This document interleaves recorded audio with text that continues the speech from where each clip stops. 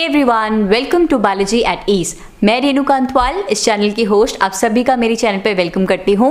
आपने इस चैनल के इस वीडियो को ओपन करा है, इसका मतलब है कि आप उन लोगों में से हैं जो कि किसी न किसी एग्ज़ाम के लिए प्रिपेयर कर रहे हैं और उस फ़ेज़ से गुजर रहे हैं जब आपको लग रहा है कि आपकी मोटिवेशन लेवल कम हो चुकी है। आपके मन में डाउट्स आ रहे हैं कि क्या मैं अच्छे से प्रिपेयर कर पाऊँगा। आप फुल कॉन्सेंट्रेशन के साथ नहीं पढ़ पा रहे हैं। तो अगर आप ये सारी चीज़ें फील कर रहे हैं तो प्लीज़ इस वीडियो को एंड तक देखिए, क्योंकि मैं आपको बहुत सारे इंटरेस्टिंग टिप्स बताने वाली हूँ, जिस वजह से आपका मोटिवेशन लेवल काफ़ी बढ़ जाएगा और आप वापस से कॉन्सेंट्रेशन के साथ पढ़ पाएँगे। तो सबसे पहली चीज़, जब भी आपको लगता है कि आपका सेल्फ मोटिवेशन कम हो रहा है, आपके मन में डाउट्स आ रहे हैं तो आपको क्या करना है? आपको पेशेंट होना है। You have to be patient धैर्य सक्सेस पाने की सबसे बड़ी चाबी है। अगर आपके पास पेशेंस नहीं है तो सक्सेस आपसे दूर होती चली जाएगी। तो बहुत ज़रूरी है कि आप बहुत पेशेंस के साथ जिस भी चीज़ के लिए प्रिपेयर कर रहे हैं, उसको पेशेंस के साथ प्रिपेयर करें। जब आप बहुत आराम से, बहुत काम होकर पेशेंस के साथ किसी काम को करते हैं तो उस काम को करने में आपको मज़ा भी आता है और आप मोटिवेटेड भी रहते हैं। तो पहली चीज़ whenever you start feeling low be patient आपको ये चीज़ ध्यान में रखनी है कि वो फेस टफ हो सकता है। वो फेस डिफ़िकल्ट है, लेकिन पूरी लाइफ डिफ़िकल्ट नहीं होने वाली है।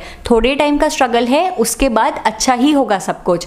तो इसलिए you have to be patient while preparing for your exams दूसरी चीज़ आती है revise the previous content revise the previous content से मेरा क्या कहना है? जब भी आपको लगे कि आपका पढ़ाई में मन नहीं लग रहा है, आपकी मोटिवेशन लेवल कम हो गई है, उस टाइम पर आप कोई न्यू कंटेंट पढ़ना शुरू मत कीजिए। बजाय इसके आप क्या करेंगे?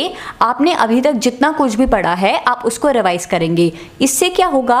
आप जो कंटेंट रिवाइज कर रहे हैं, उसको आपने ऑलरेडी एक बार पढ़ लिया है। मतलब आपको उस कंटेंट का आइडिया है। आप उसको जब दोबारा पढ़ेंगे तो आप कम से कम टाइम में ज़्यादा से ज़्यादा कंटेंट पढ़ पाएँगे। इससे आपका कॉन्फिडेंस भी बढ़ेगा कि हाँ मैं जिस भी एग्ज़ाम के लिए प्रिपेयर कर रहा हूँ, उसका इतना परसेंटेज सेक्शन मुझे अच्छे से आता है। तो अपने कॉन्फिडेंस लेवल को बूस्टअप करने के लिए आप क्या करिए, आप पुराने कंटेंट को रिवाइज करिए, ताकि आपका कॉन्फिडेंस बढ़ जाए और आप वापस से मोटिवेटेड फील करें। तीसरी चीज़ आती है set yourself question set yourself question से मेरा मतलब है कि अगर आपने डिसाइड करा है कि आज आप एक पैराग्राफ पढ़ने वाले हैं तो उस पैराग्राफ को रीड करने के बाद खुद से ऐसे क्वेश्चंस पूछिए, जैसे कि कोई इंटरव्यूअर आपसे क्वेश्चंस पूछ रहा है। खुद को इमेजिन करिए कि आप इंटरव्यू देने गए हैं और उस पैराग्राफ से आपको कोई क्वेश्चन कर रहा है तो वो क्या क्वेश्चन करेगा? तो वैसे ही उस पैराग्राफ से खुद को क्वेश्चन करिए सेल्फ टॉक करिए। इससे आप इजिली पढ़ भी पाएँगे और आपकी पढ़ाई इंटरेस्टिंग भी होगी और आपका पढ़ाई में मन भी लगेगा। तो तीसरी चीज़ क्या है? सेट योर सेल्फ क्वेश्चन चौथी चीज़ आती है टीच ईच अदर ऐसा होता है कभी कभार हम बहुत टाइम से पढ़ रहे होते हैं तो हमारा पढ़ाई में वापस मन नहीं लग पाता है, हमें वो चीज़ बोरिंग लगती है। तो उस दौरान आप क्या करिए ब्रेक लीजिए और अपने किसी ऐसे फ्रेंड से बात करिए जो उस एग्ज़ाम के लिए प्रिपेयर कर रहा हो। अगर उस इंसान को, आपके उस फ्रेंड को वो कंटेंट नहीं आता है जो कि आपने ऑलरेडी पढ़ लिया है तो आप अपने उस फ्रेंड को वो कॉन्टेंट पढ़ाइए। इससे क्या होगा, आपका रिविजन हो जाएगा और आपके फ्रेंड की भी हेल्प हो जाएगी। आपका मोटिवेशन लेवल भी बढ़ जाएगा, आपका कॉन्फिडेंस भी बढ़ेगा। साथ ही साथ अपने फ्रेंड को पढ़ाते हुए आपका टॉपिक एक बार अच्छे से रिवाइज भी हो जाएगा। तो फोर्थ पॉइंट है teach each other fifth point आता है ट्राई समथिंग न्यू कभी भी किसी भी चीज़ के लिए प्रिपेयर करते हुए, जिसके लिए आप बहुत टाइम से प्रिपेयर कर रहे हैं, आप कंटिन्यूसली एक ही चीज़ बार बार पढ़ते रहें, एक ही सब्जेक्ट पे बार बार फोकस देते रहें। तो ये बहुत ऑब्वियस सी बात है कि ऐसा हो जाता है, एक टाइम के बाद आपको बोरियत वाली फीलिंग आ जाती है। तो उस बोरिंग फीलिंग को दूर करने के लिए आप नई नई चीज़ें ट्राई करते रहिए। अगर कोई पुरानी हॉबी थी जो आपने छोड़ दी थी, उसको वापस लेकर आइए। आपको पेंटिंग का शौक है पेंटिंग करिए, कभी ब्रेक लेकर बैडमिंटन खेलने जाइए, जो भी स्पोर्ट आपको पसंद है वो खेलिए। यूट्यूब पे कोई वीडियोस देखनी है वीडियोस देखिए छोटे छोटे ब्रेक लीजिए और नई नई चीज़ें हर दिन ट्राई करिए, जिससे पढ़ाई के साथ साथ आपका और चीज़ों में भी मन लगा रहे। सिक्स पॉइंट आता है break it down break your content into small part जब आप बहुत बड़ा कॉन्टेंट पढ़ने बैठते हैं तो उसको